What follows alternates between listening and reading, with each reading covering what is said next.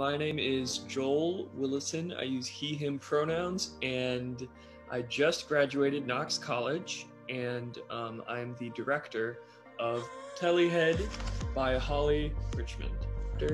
Um, I really enjoy the collaboration between all the creative people, either on the creative team or in the actors. Um, I think it isn't my job to just tell people what to do. Uh, I think it's important to understand where everyone's coming from and their lived experience and how we can make a work of art together. It's always hard whenever, like, I mean, it's hard to do theater right now in a pandemic, regardless.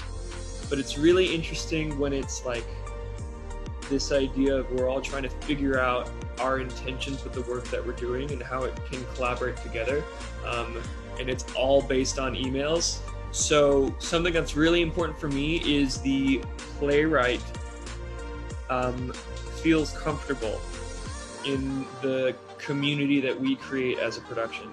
Something that's really weird online is like you're not in one room working on something, you know, figuring out like, oh, would this blocking look this way or anything? It's a completely different scenario. So I really want to make sure that the playwright and all the actors and the creative team feel comfortable like saying like, oh, like I have a question about this, or I want, I'm curious to see what this would look like.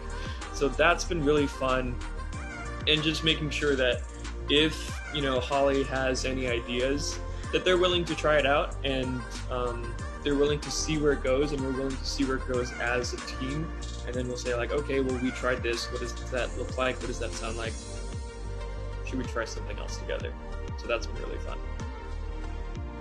Um, just set up like a night where you can zoom with a bunch of friends and you can just play around and tell them what to do in the zoom reading so that you can understand the functions of what you're using really well because the director really needs to know how to manipulate the space and usually that refers to the stage but right now it refers to zoom. So like invite a friend like invite some friends to a zoom and just start messing around and playing with different ideas that you have and seeing what it looks like and how it affects you because that's really important as well